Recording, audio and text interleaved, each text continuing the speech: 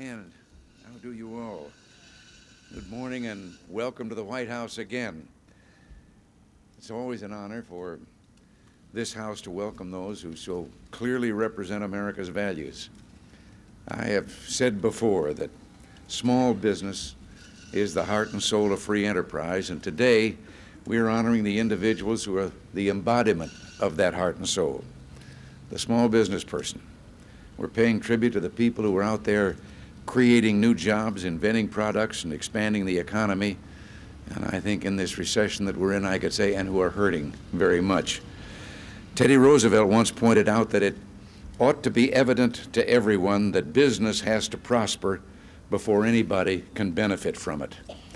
Well, unfortunately, it's not evident to enough people in this town. Over the years, they've taxed and shackled and burdened small business. For many small business firms, just surviving in the business climate of the last five years has been a daily struggle.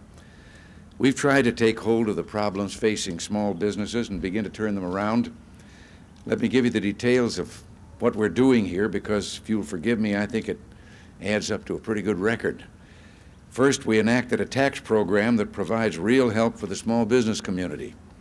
The 25% reduction in personal tax rates could easily be called a small business tax cut since at least 85% of all United States firms pay their taxes by personal rates, not corporate ones.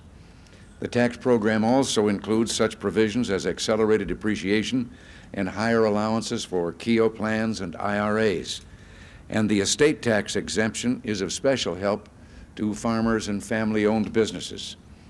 We cut the growth in federal regulations by a third. Plus, we cut from 10 years to five the deadline for federal agencies to review existing regulations and spot those harmful to small business. I don't think it should take 10 years to find out that a regulation doesn't make sense. We don't want the government to be a deadbeat either. So I will soon sign the Prompt Payment Act to make sure the government pays its debts on time. I'd sign the act today, but the government didn't pay its pen bill, so I didn't have anything to write with. uh, I know that representatives of the Small Business Slow Pay Coalition, along with their leader Kenton Patty, are with us today. You all deserve a tip of the hat for uh, and and congratulations and appreciation for your efforts. And I agree with you completely. Government contracts should be paid the same as any other business contracts, on time. You know, this was a terrible problem. As interest rates soared last year to over 20 percent, thousands of businesses had to borrow while waiting for their own government to pay up. In effect, the government was borrowing interest-free from small business. It wasn't fair, and with the coalition and its help, we're going to get things set straight.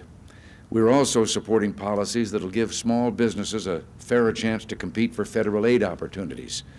Another priority is to get the federal government out of competition with private industry in providing goods and services to be used by the federal government. This is work that small business could be doing and could be doing profitably and yet at lower cost to the taxpayers. Meanwhile, over at the Small Business Administration, Jim Sanders is shaking things up, the better to serve your interests. Now, in terms of the economy itself, the inflation rate is drastically down from when we took office.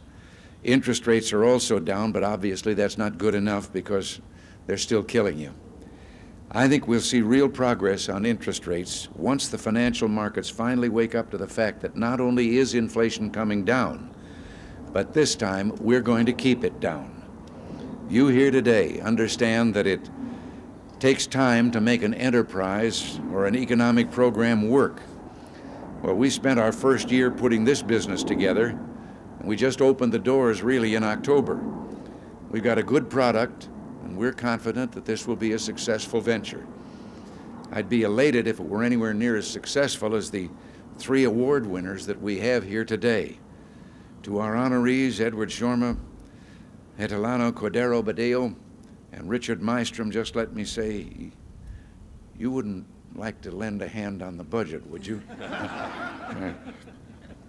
Seriously, these gentlemen represent not only the entrepreneurial spirit, but the voluntary spirit as well, because you're each involved in your home communities. You not only have America's congratulations on what you've accomplished, you've got her thanks. And now I'd like to hand out the awards, shake these gentlemen's hands. And I shall start with the second runner-up, Richard Mystrom, Anchorage, Alaska. In, in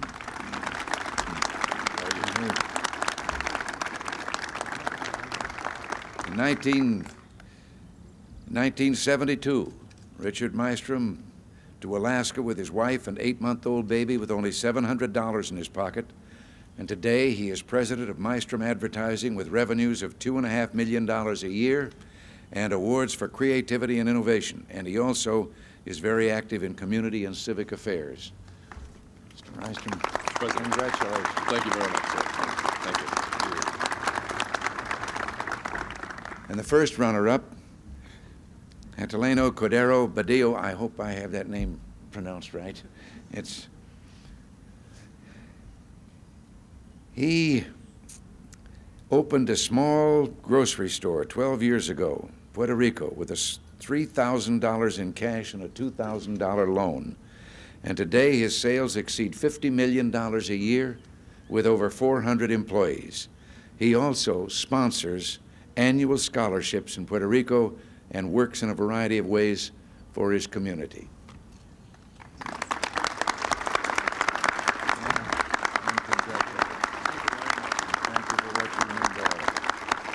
Thank you. And now the winner, Edward F. Shorma, Wahpeton, North Dakota. Edward Shor- Shorma, a Korean War veteran, mortgaged the family car and borrowed $1,500 in 1953 to buy a shoe repair shop in North Dakota. During his first year of operation, he grossed $5,400.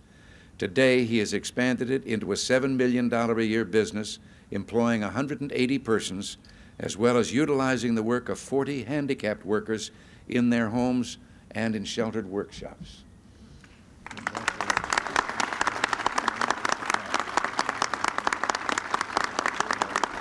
Thank you very much.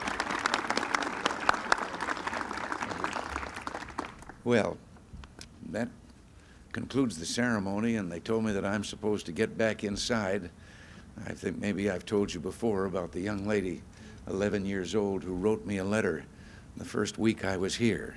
And she gave me sound advice on international affairs. She told me what I could do about economic affairs and so forth, and then added a P.S. and said, now get back to the Oval Office and get to work. so thank you all very much, and congratulations to all of you. Thank you.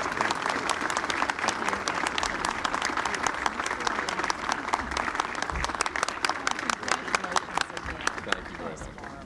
Congratulations to you. I know you guys had a lot to do with this success too.